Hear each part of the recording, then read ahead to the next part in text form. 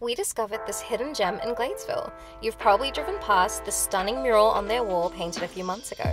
I had no idea what to expect walking into this cute little building. So I parked at the front and found over 150 hair care, skincare, and beauty brands. Turns out they're also an online retailer and pack hundreds of orders a day.